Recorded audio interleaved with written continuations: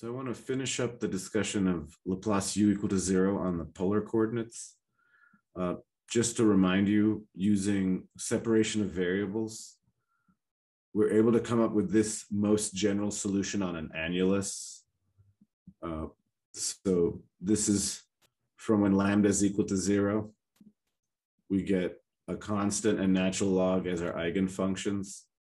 And then when lambda is not equal to zero, we get this r to the n and r to the negative n here. I just, I used a different index just to kind of differentiate the two as our eigenfunctions. Oh, and of course, for that, in the theta equation, we get this sort of uh, full Fourier series type form here because this is very, in, in the theta equation, the um, separation of variables Uh, ODEs is very similar to what we have in the heat equation for a ring. So we end up getting a full Fourier series. And so the thing about Laplace u equal to zero on these polar coordinates, it's really all about the domain, you know? So, and I like this most general solution because you can see all the parts. And then you could kind of, you know, by switching on and switching off certain parts, you can get solutions. So here, if our domain was the entire inside of the circular disc. So I don't know if I can do this, but I'm going to try. Yeah, not bad. So the domain was the entire, and so here now, you know, there's a problem. The issue now is we we have the origin is included, and so because the origin is included, you know, we don't like this natural log term here. That the origin is a problem for the natural log term and also this denominator term. So there's the easy fix. We just reject these as solutions. So there you basically get the solution for our Laplace U inside of a circular disk that we you know derived using the old separation of variables. And um, for example, if we're outside so if our domain, if this, if this region here was the domain, not the inside. So here, take this out. Oops, let me switch colors. So not the inside, not here, but the entire outside. Then in that case, um, in that case, uh, when we send r to infinity, again, the natural log term, there's an issue with the natural log term when r goes to infinity. And there's an issue with this term when r goes to infinity. So for outside the disk, we just reject that part as being a solution. So yeah, I'll let you think about that. Um, you know, you should take a look at the old exams. There's some slightly different geometries. And so it's,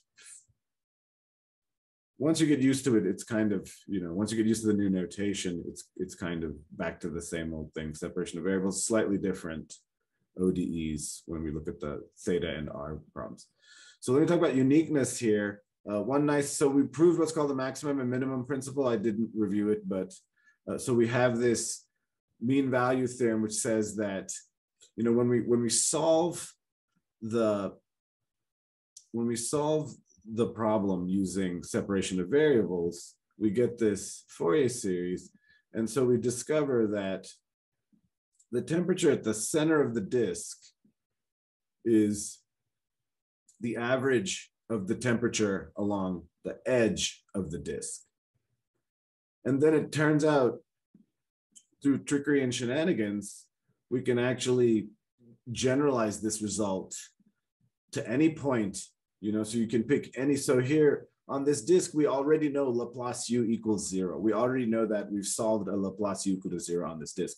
So now I just pick any point randomly and then draw a circle around it, you know, draw a little circle around it. And then now create a new Laplace problem say, let's pose the problem Laplace W equals zero on this circle, on this new little disk, where the boundary data is whatever the temperature of the solution U on the bigger disk that we've already solved. Whatever the temperature is that we've already solved, let that be the temperature on that disk in the circle. And then we can solve that using yield separation of variables and all that good stuff. And you get a, you get a, you know, series solution like this. And once again, we can conclude that the temperature at the center of this disk will be the average value of the temperature uh, of, you know, on the on the circle around that single point.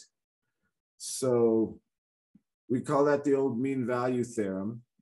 And um, using that, we can get the maximum minimum principle, which says that if u isn't constant, then the maximum and minimum are happening on the boundary.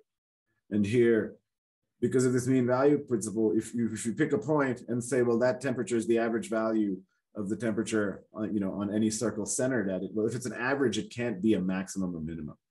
So here, if it's not constant, we can use a contradiction argument to show the maximum can never occur internally. So anywho, we can now use, uh, yes, Evan. I just had a question. So this uh, mean value uh, property, does it just apply for the solution in a circular domain or is there some question. analogous Great version? question. for- Thank you. Thank you. Thank you for asking that. So yeah, yes, I meant to discuss that. Thank you for asking that. Great question. So let's now draw any kind of shape. So here's a triangle. So, and suppose we've solved, so we know we've solved some problem Laplace u equal to zero on here already. So yeah, the only thing we know, Evan, is when the shape is circular shaped.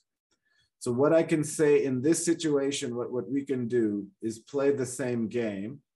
You can pick, pick any point inside the domain and then draw a circle, you know, so, so, so that that's a circle with the point we picked is at the center of that circle. And now pose a new PDE on this circle. Now say, okay, let me pose a new PDE Laplace W equals zero on this new domain, which is this little circle, which I'll call D tilde. So this little circle here.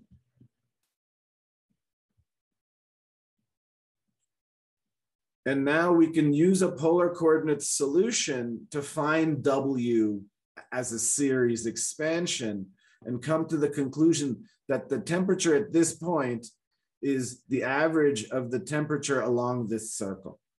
But that's as far as we can go. We can't say, you know, for a circular domain, we can say the temperature at the center is the average of the temperature along the edge, that average boundary data. Here, we can't say that. Here, it only works in our polar coordinates for circles. So here, if I do pick a point at the you know center of the triangle, then the best I can hope for is to fit you know the biggest circle I can, but that's and, and that's the best we can do and conclude that the temperature there will be the average of the temperature on the biggest circle inside the domain that's centered at that point that we've chosen. So it's a great question you've asked. But we can get the maximum minimum principle though on any shape domain because you can always use the same argument. Now I can say the temperature, for example, at this point here, well, the temperature there is the average temperature of the temperature along the circle. And so it's, if it's an average, it can't be the largest or the smallest. And you can basically do that to every point in inside the open interior, inside the open domain. And so we can extend the maximum minimum principle using the same argument. And so for the triangle, we can conclude that if it's not constant, then the max and min have to occur on the boundary but we can't conclude that the temperature at the center is the average of the temperature along the triangular boundary. So, so, so that's a great question. It's very much connected to the polar coordinates and being able to, you know, do these things with circles. Great question. Thank you so much. I was, I wanted to mention that and I forgot, but then you know, great question. Okay, uh, sorry, I don't have that. Okay, so uh, let's do prove the uniqueness is really easy now with the maximum minimum principle. So here we have the PDE uh, inside a you know closed disk of radius capital R with all the usual periodicity and boundedness conditions. I didn't write those. I just wrote the boundary condition here was the temperature along the edge. Um, so here to show the solution is unique, I'm going to assume we have two solutions that satisfy the given PDE and let V equal their difference. Then V satisfies Laplace U equal to zero by linearity. And the, the edge temperature for V is, um, should be zero. Yeah, zero. So you have, you know, because the f of theta minus f of theta. So this is now the problem that V that V satisfies, this PDE. So this V here satisfies this PDE. So now we use the maximum minimum principle. The maximum minimum principle says, you know, whether the, the solution is constant or not, the maximum and minimum are going to occur on the boundary. So now we look at the boundary data. Well, on the boundary, it's zero. So the maximum and the minimum are zero. So the only way that's possible is if V equals zero. Because I've got V and you're, you know, you're telling me this function V, its max and min are zero. The only way that's possible is if V equals zero. So V equaling zero you know, then tells us U1 equals U2. And, and so the maximum minimum principle allows us to establish the uniqueness fairly quickly, you know, but we had to do a lot to get the mean value theorem and then get the maximum minimum principle. And so now then we get kind of uniqueness happens, you know, fairly easily. So that actually concludes our discussion of Laplace equal to zero. And I just now want to just do a quick wrap up just because we're going to move on now from using Fourier series to moving to, to using transform methods. So this is kind of, you know, we're kind of wrapping up this discussion of this portion of the class. So I just wanted to, you know, I, we, we talked about uniqueness of Laplace, u equal to zero. So just, just for completeness, we have a, a uniqueness result for the heat equation. You know, this is not the most general result, you know, because PDEs is such a vast field, we can pose the problem in a much more general setting. So this isn't the most general um, uh, uniqueness result, but this is, you know, certainly a result that I wanted to show you. So yeah, we proved something similar to this on a homework. So the difference here is we have functions of t on our boundary. In the homework, we just had fixed uh, constants at the at, at the boundary conditions there.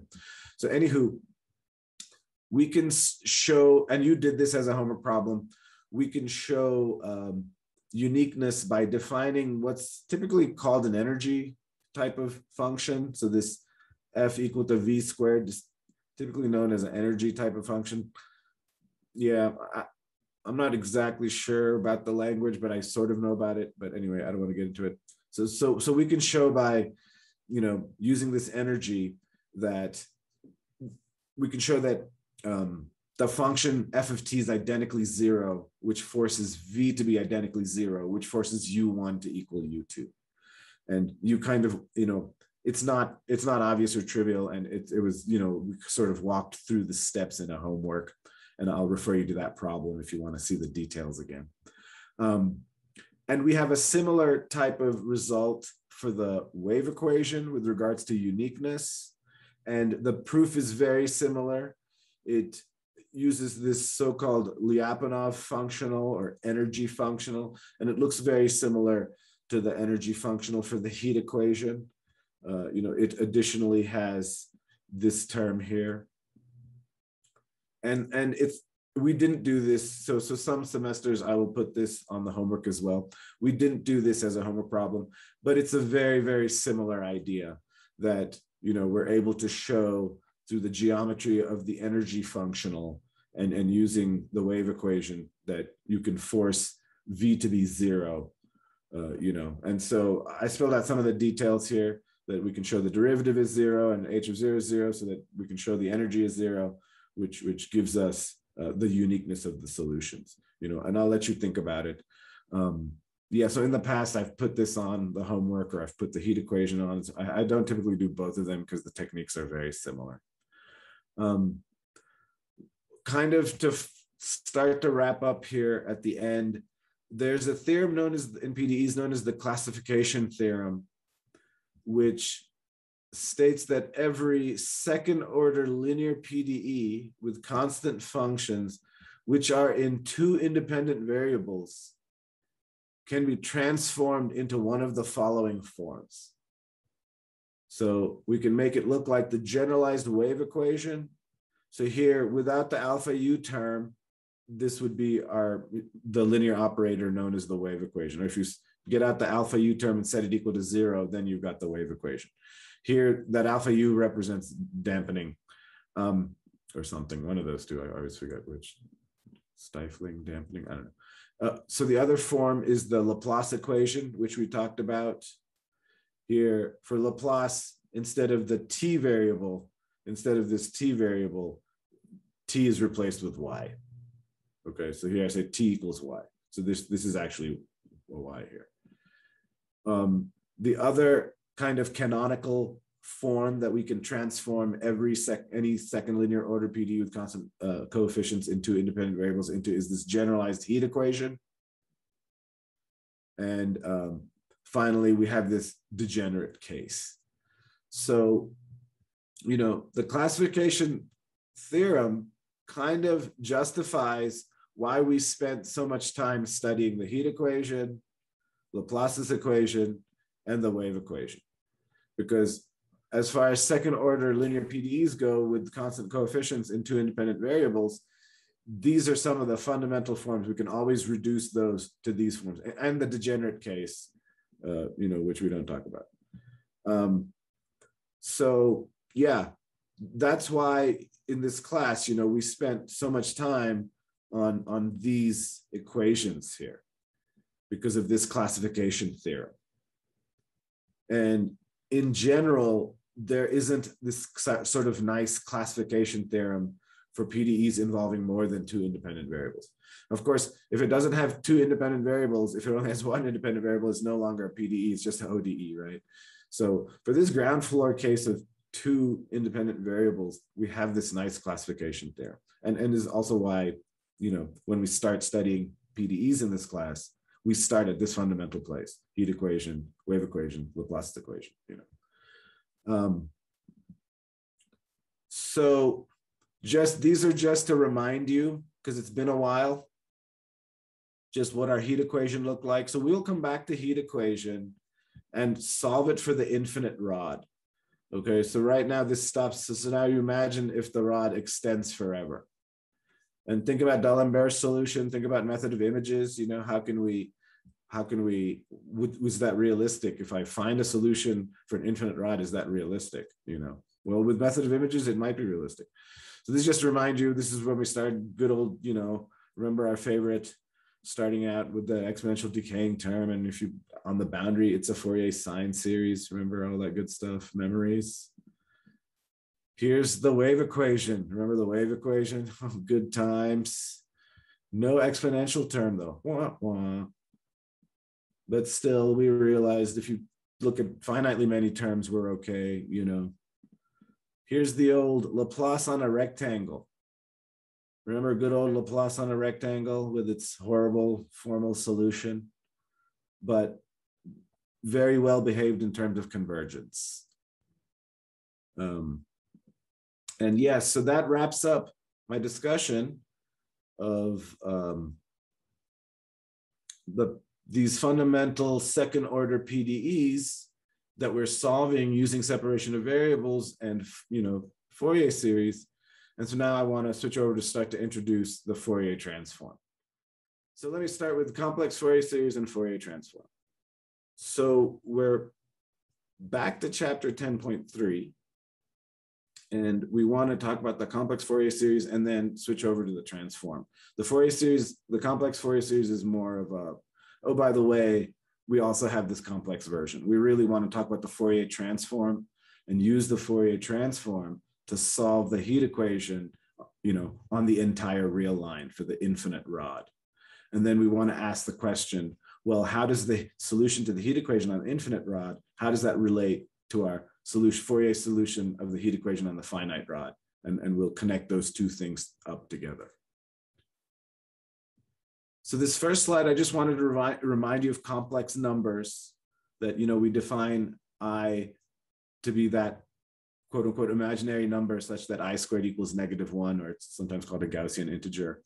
Um, and we can define a complex number as being, you know, this linear combination. Basically, we're over a vector space where the basis is one and I, and we're looking at any linear combination, you know, a scalar times one plus a scalar times I. So here our basis is one and I. So by definition, the complex plane, you know, is this two-dimensional creature. And in that way, it's extremely different from the real line. Um, and, you know, we can represent uh, points on the complex plane using Euler's formula in this really nice compact version where we have any point can be represented. It's, it's basically polar coordinates as rho e to the i theta, where rho, you know, instead of r, we have rho is this distance from the pole. So here, the origin here in the complex is called, you know, the pole. And theta is the angle made with the so-called polar axis. So this positive x-axis is known as the polar axis, and theta is the angle made with the, uh, you know, polar axis there. And so we can identify any point as being, you know, at the intersection of those two things. Basically, uh, th this circle here, circle and ray, basically, circle, circle and ray. So at the intersection there, we can find uh, you know, the point. So, um, yep. So let's, you know, and then, you know, uh, we have this notion of the, the magnitude. It's like an absolute value, but we call it a modulus. And it's exactly just the distance from the pole. So, you know, this is one little subtle point that technically speaking, we can't compare complex numbers. If you give me two complex numbers, you know, so here's pick one complex number here and pick another complex number here. And you say which complex number is bigger than the other. That's technically not a well-defined question and a question we shouldn't we shouldn't ask. What we can compare are their moduluses. We can compare these values that this now that's that's a real number that we can compare. But complex numbers we can't really compare in the traditional sense, or if you're going to, you have to be careful how you define your ordering system. So the modulus is how we can sort of, you know, compare the value or magnitude of complex numbers. So I just want to remind you of this. I know it's like going back to, you know, the beginning, just breaking out all the old hits, the greatest hits. Here's our good old fashioned full on Fourier series, not necessarily in connection to the solution to a PDE. I just wanted to remind you of the form because we're going back to our good old fashioned Fourier series that we started the course with. What we want to do is go back to our complex basis, go back to where we came from. You know, we left our complex basis behind, got all fancy, citified, but now we want to return to our roots. So here we can write using Euler's formula, we can write cosine theta and sine theta as these linear combinations of e to the i theta and e to the minus i theta. And so I'm going to plug these forms in to our Fourier series. So here, cosine n pi x, I can write as this linear combination involving e to the i and e to the minus i. And so I'm going to replace that term in the Fourier series. And I'm going to do the same thing with the sine term here. The sine n pi x I can write in this form here. And so I'm going to replace that in, you know, our good old fashioned Fourier series.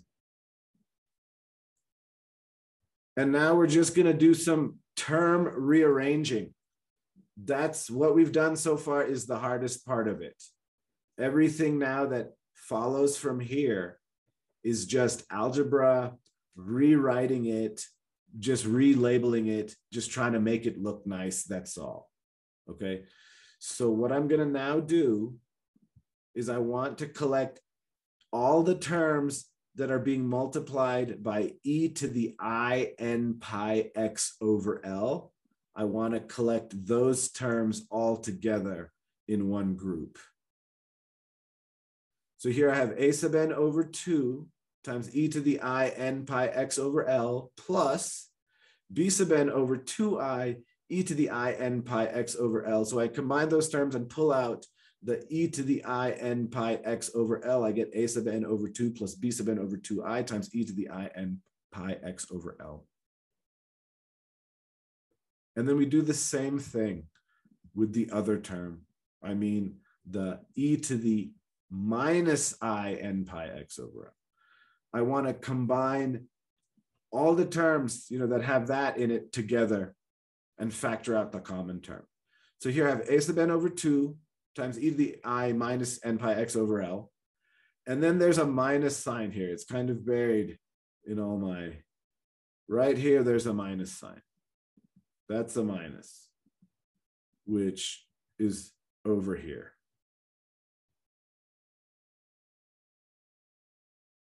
So you have a sub n over 2 minus b sub n over 2i, both being multiplied by e to the minus i n pi x over L. So after all the dust settles, we have our, our Fourier, our favorite Fourier series just written in this different form. So now what I'm going to do is just you know, a little bit of cleanup algebra here. I'm going to multiply top and bottom here by i. I want both of these x, you know, both of these coefficient terms to um, have only a real number in the denominators, you know, specifically this common denominator of, of two. So here, when you multiply top and bottom, i squared equals negative one. So I get this minus sign here. But look, there's no i in the denominator anymore. Okay, so, so here, that's changed. And I do the same thing with the other term. So here, again, I'm going to multiply. So let me clear out this parentheses make a little room so you can see what I'm doing here. So here, I'm going to multiply top and bottom by i. So I do multiply the bottom here by i, multiply the top. I get i times b sub n. The i times i is i squared. i squared is a negative one. There's already a minus there, so minus minus becomes plus. So yeah, so we've gotten rid of the complex numbers in the denominator here and combined the two fractions. Finally, let's just relabel this. So I'm going to give this term a new name. I guess A and B are taken, so let's use C. Also C for complex, I don't know. So there's, there's our first complex Fourier coefficient. Yay. And the other one this other term here, let's give that a name as well. So we'll call that C sub minus N.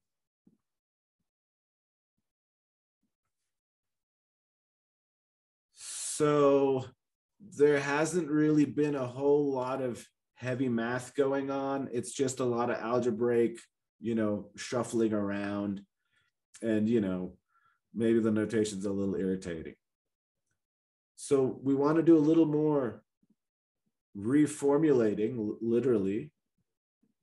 If you if you compare these two, compare these two uh, these two terms. Okay, let's just look at those two terms. You know, when n equals one, here I'll have e to the i n pi x over l. Here I'll have e to the minus i pi x over l.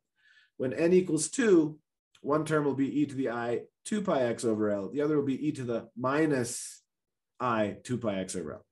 Basically, you know, here, if we got rid of this minus sign right here, if we got rid of this minus sign, and for just this term, whoops, let me, for just this term, let n be negative.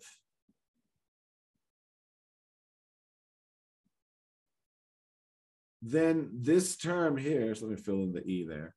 These two terms would look, so I, I, what I'm proposing is to do a, a second sum, break up the sum and use a negative index down here and drop the minus sign that's up here. So to, to, drop the minus sign that was right here, I got rid of it. Then, then they'll both look the same. Then you'll have, in both cases, you'll have a sum where it's a constant times e to the i n pi x over l, and maybe we can combine them. So let's do that. And so here on the next slide, all I want to do is do an index change on this second sum. So for this second sum, what I would like to do is instead of using n going from 1 to infinity, I'd like to use n going from negative 1 to infinity and drop this minus sign.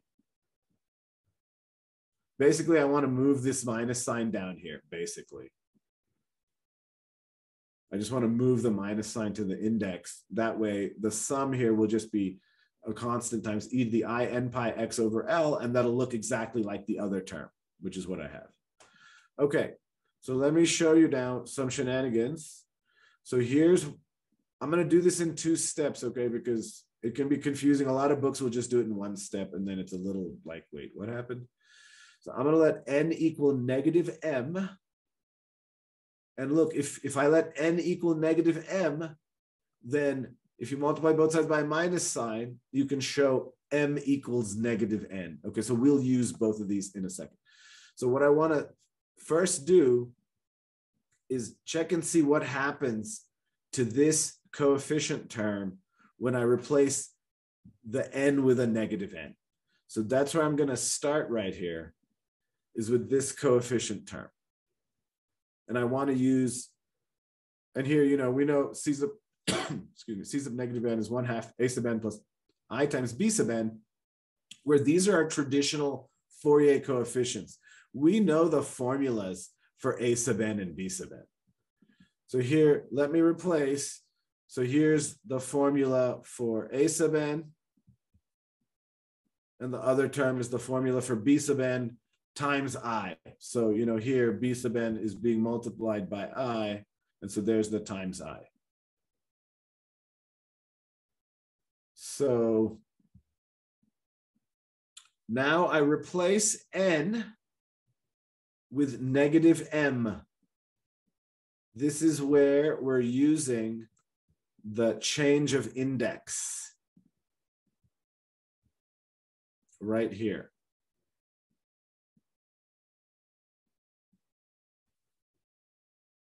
And now I know cosine is an even function. So cosine of negative x equals cosine of x. So here I can just drop the minus sign. And I know sine's an odd function. So I can pull the minus out. So here I have a sine mx with a minus sign pulled out. Since sine is an odd function.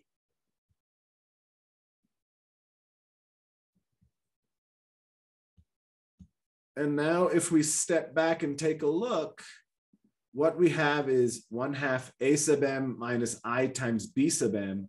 We've gotten back to the formula for this coefficient up here, except up here, you know, the parameter is n, down here it's just in m.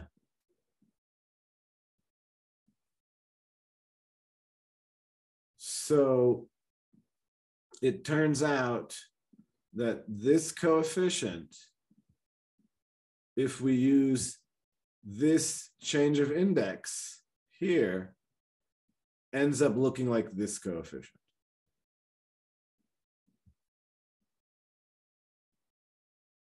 So let's put it all together. So here's, here's the series with the negative terms.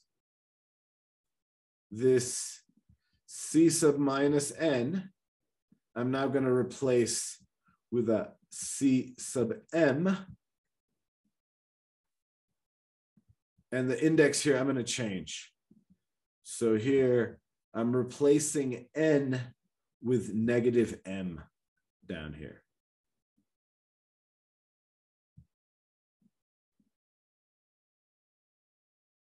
One last thing I did here, this minus n that's up here, minus n equals m. So I replace that minus n with an m. Finally, multiply both sides of this equation with a negative. And so now I get this is indexed from minus one to negative infinity of this expression, which looks identical to this expression. So here's the final step to put it all together. I've rewritten this Fourier series with the negative exponents in this form. And, and you know, that's the math we just did to show you we can do that. This other term is the same term sitting in the front. This is that same front term. And then, you know, we got the a sub zero. So let me now, final trickeries, Re just replace the m now with an n. Just do a little old switcheroo, replace one squiggle with the other. Instead of calling it m, just call it n. And now combine the two into one expression where it goes from minus infinity to infinity. This, this type of series is typically known as a Laurent series, or it's going from negative infinity to infinity. And here we've got this sort of closed form expression. Remember, you know, at the end of the day, what you should really keep in mind is this is the same as the Fourier series that we started with, with the cosines and the sines. This expression here is the same as this Fourier series that we started back here, our favorite tried and true, this Fourier series here. All we've done is rewrite it in this alternate complex form as a sum from minus infinity to infinity. So, so this would be the Fourier series of f in this complex form. where we have a formula for C sub n. So, so you'll get, I'll show you there's a really nice formula for C sub n. And so, so C sub n, we know is one half A sub n minus I times B sub n. So we can plug in for the formula for A sub n and for B sub n. And here B sub n is being multiplied by the I. And now if you pull out the common terms, because if you take a look, f of x is common, you know, and, and, and they're both integrals from minus L to L, and they're both dx. And they both actually have a 1 over L. You know, if I leave the i behind, I can actually factor out a 1 over L. So writing this as a single integral, if you combine it, so here you have the cosine term is right here, minus and then the I we couldn't factor out. And then here's the sine term. Everything else was a common term that we were able to factor out. And now, you know, if you go back to Euler, I can write this as an exponential. If you go back, use Euler's formula, I can write that as this exponential and so now we get this really you know beautiful set of formulas that are so simple and elegant you know so here's our fourier complex fourier series has the form sigma going from n going from negative infinity to infinity c sub n e to the i n pi x over L, where C sub n are, you know, known as the complex Fourier coefficients. And here's the formula for how we find C sub n. Dr. Bott? Yes. For our um, heat equation, wave equation, is our uh, most important node still going to be plus and minus one typically and on out from the center? I that's a great question. That's a really great question. I I'm not sure anymore because you know one thing we should mention is we should not think of when the complex form of an exponential function is very different from the real form of an exponent because the complex form is actually an oscillating function. Remember, this is actually this linear combination of cosine and sine. And so in the regular heat equation, the first mode was the most important because the exponential term was decaying.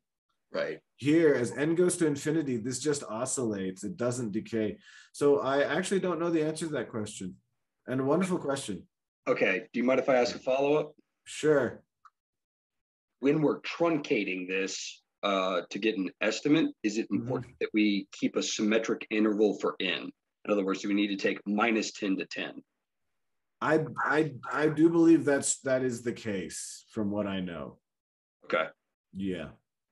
And so there's a thing called Parseval's theorem, which talks about the magnitude, and you can use the Fourier coefficients to measure the magnitude. And I think you can maybe use that to start to get estimates of what happens when you cut off terms. So all really good questions. And you know, kind of a great starting point for further study on this stuff, because that's the thing. You know, it's not like after we take this class, we know everything there's to know about PDEs, right? This is just that introductory, you know, into this vast field. So let me just talk about the orthogonality, all of these kind of basic issues that we talked about when we're working in Fourier series. So again, here we can define an inner product. And this is the formula where uh, here we're taking the conjugate. If f and g are real, then you just get back our usual L2 inner product. So here, f and g are complex functions. So they have a real part and an imaginary part. So when we take the conjugate of g, you know, it's the conjugate of that complex function. And so we change this plus to a minus, for example. And so we can still define an inner product. We can, and, uh, we can define a norm in the usual way using this inner product. And we can show that these functions are orthogonal. And here, with respect to this inner product, this I believe it's called a Hermitian inner product. And so here, when we take the inner product, the conjugate here, you get a minus sign. You put a minus, and so we're able to combine um, the two exponents, and then we can write it in cosine and sine form and integrate each piece. You integrate each piece, we can show that when m and n are different, we get zero, and when they're the same, we get not zero. And so we can conclude that we have this countably infinite orthogonal family, you know, basis of these continuous functions. And we can use the, the usual projection formula. So this is the usual projection formula that we developed way, way back at the beginning of the course, you know, and we're taking the inner product of the given function against the basis element divided by norm squared of the basis element. And so that's this formula that we've already derived, you know, we, we just kind of did it um, brute force. This is rederiving that formula using, you know, our elegant theory of inner products, vector spaces, orthogonality, projections, blah, blah, blah. So um, as an example here, you know, so complex Fourier series has many advantages. It's sometimes it's a lot easier to work with. sometimes, you know, I mean, this is one very common technique is to find the complex form of the Fourier series because it's easier to work with, and then use that to find the real coefficients. Once, if I find C sub n, since C sub n is basically linear combinations of A sub n and B sub n, there's a way to find the original real coefficients from the real Fourier series from the complex. You know, so, so that's typically one application. Like the exponential function, the, the calculations are a bit messy to find the Fourier, the regular real Fourier series. Actually, I made you do it in a homework. And so you might remember it's not, it's kind of messy, but if you look at the complex version, it's really like nice and easy, you know. So here, um, I'm going to use the projection formula. Let me remind you, I'm going to use this projection formula. We're going to replace f of x with e to the ax okay? Because now I want f of x to be e to the ax. So here, here's my projection formula with f of x replaced with e to the ax. Then you can combine the exponents. And then you can just integrate in the usual way. Like the integral of e to the u, you can just integrate in the usual way. So here, the 1 over 2L, that was there already.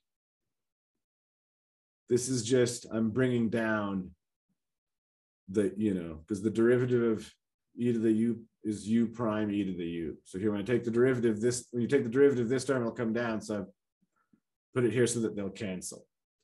So this is now our, this part here without the, this part here without the one over two L, that would be the antiderivative of e a to the minus i n pi over lx, and then times the 1 over 2l. And then I do from L to minus L. So I'm plugging in the L right here for X.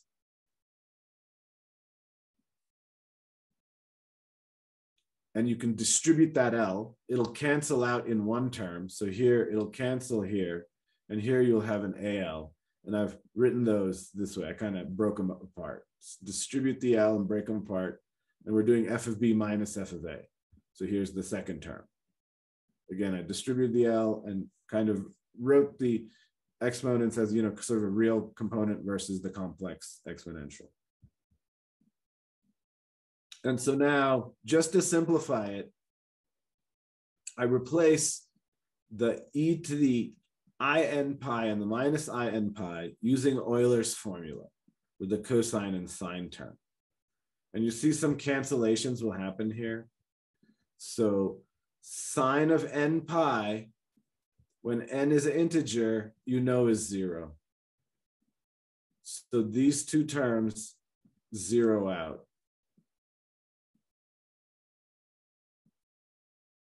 And uh, cosine n pi, as you know, is minus one to the n.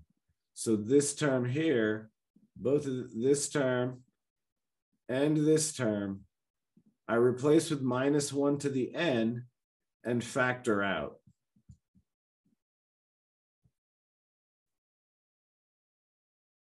And finally, this one half that's out here, I'm going to bring the one half in. So this one half, I bring it inside.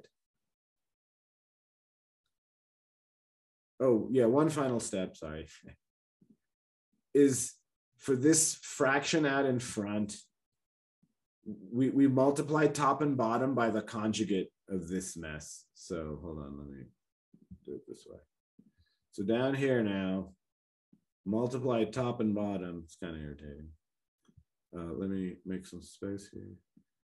So now I'm going to multiply top and bottom by AL plus I n pi, top and bottom.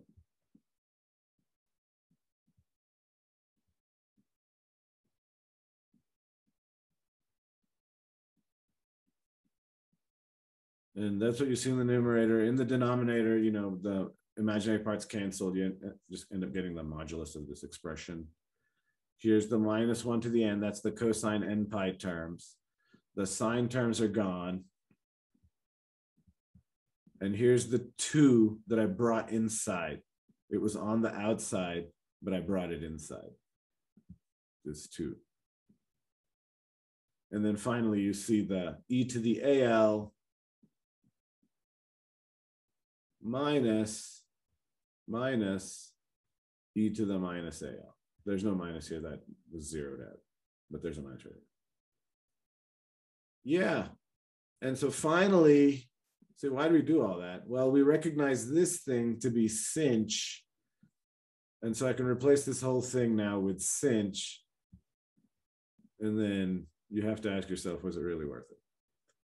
So now I found C sub n, and we can plug it in to our series, our Fourier series.